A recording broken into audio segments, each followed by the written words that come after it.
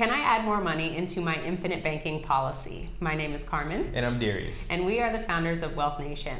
So we teach entrepreneurs and go getters how to own their own lifestyle through the infinite banking concept. So make sure that you subscribe to our channel and hit the notifications bell so that you can be notified when we upload new videos.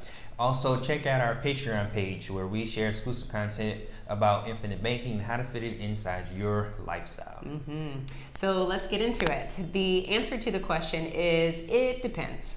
because there are a few stipulations that we need to make sure that we take into consideration before you just start dumping a whole bunch of cash into your policy. Right, and one of those things is if it is before the policy is in force. Mm-hmm. If it's before the policy is in force, you can design the policy to your liking. You can add as much money as you feel you will is necessary to accomplish the things that you want to get accomplished. Yeah.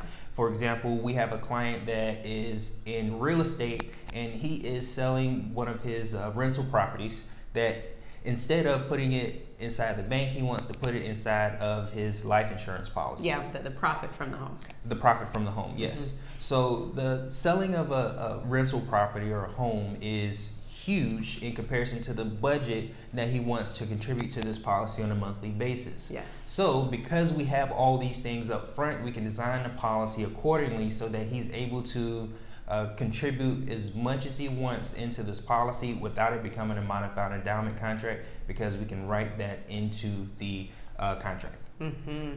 Yeah, and it's really nice to have the flexibility to play with the numbers before the policy is enforced. Mm-hmm. When we say enforced, that's basically the insurance term for being official. so you have a lot of flexibility prior to the policy becoming official as far as how you want it designed mm-hmm. and how to bring over cash to maximize your opportunities. Right. Um, but what I'll talk about is once the policy is enforced. So once the policy is enforced, you really don't have much flexibility. So let's say you have a $15,000 policy that, or excuse me, $15,000 premium that you mm-hmm. pay on an annual basis the insurance company is actually going to notify you uh, and let you know what your modified endowment contract is. Mm-hmm. And when we talk about modified endowment contracts, we actually have a video on what that is. So click on the button below after this video. That's above. Oh, above.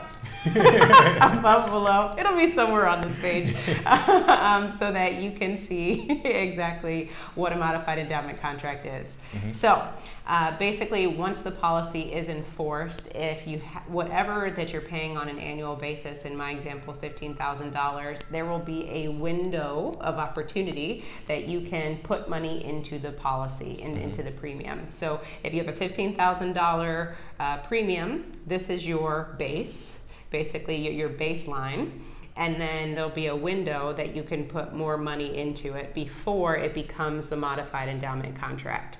So we definitely want to make sure that we play within those rules because you don't want your policy to become taxable. Mm-hmm. And in order to determine what your mo- what your modified endowment contract is or the MEC limit is, you just have to read your illustration to see what it is or contact your agent who wrote the policy for you so that they can tell you. Right. Also, another thing I would add is if your policy is already in force and you want to contribute to that MEC limit, do it through the uh, in specific insurance company. Call them and let them tell you what your modified endowment contract mm-hmm. limit is, mm-hmm. because it if your policy is designed uh, for infinite banking, your death benefit is going to continue to increase uh, throughout your, your lifetime. That means that your MEC limit would also uh, continue to increase from year to year. Yes, that's a huge point. I'm glad that you said that because with some illustrations, when you read them, the death benefit is stagnant, mm-hmm. meaning it's $200,000 for the entire policy, for the entire life of that policy. So that really limits your availability to put in more cash mm-hmm. because what you want to see is a death benefit that is continuing to increase because if your death benefit increases, your cash value is going to increase with it. Mm-hmm. So that's a good point that you brought up. We really appreciate your support. Make sure you hit that subscribe button and check out our Patreon page at the closing of this video. And always, always remember, own your own lifestyle. Or someone else will.